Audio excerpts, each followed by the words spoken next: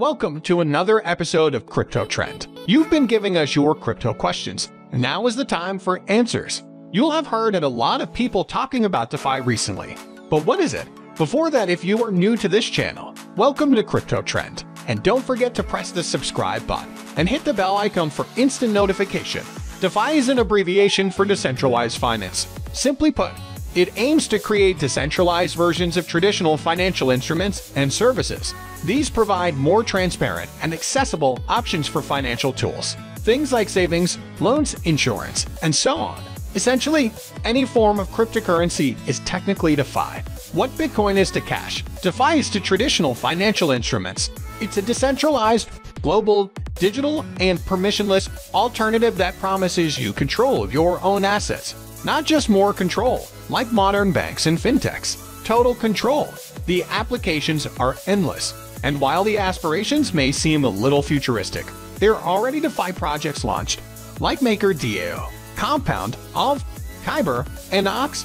DeFi apps exist as digital assets, protocols, smart contracts, and apps that run on blockchains with the flexibility and capabilities to develop on them like Ethereum. Stablecoins are one famous example of this. These are blockchain-issued tokens designed to hold onto specific values, such as the IO Tether. Developers can also create sophisticated smart contracts that automate complex financial transactions by removing the need for a middleman to verify them. For example, open lending protocols. The idea here is simple. Users deposit their digital assets onto the platform. When someone else borrows the digital assets, they earn interest. When the loan is over, they get the digital asset back.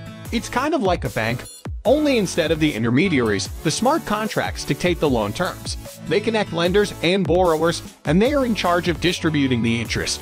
Because there's no middleman, the lender gets all the interest. There's also no credit checks, meaning broader access to people that cannot tap into traditional services.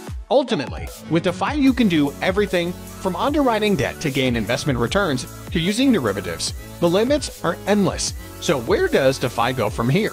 Systems that allow borrowers to access DeFi tools similar to credit scores that also maintain privacy. There are also prospects of blockchain-based, decentralized, autonomous organizations known as DAO. These can be set up to run DeFi apps without anything but the code to govern through the stakeholder votes. The future definitely looks bright, so let us know what you think about DeFi in the comments. Don't forget to like and subscribe.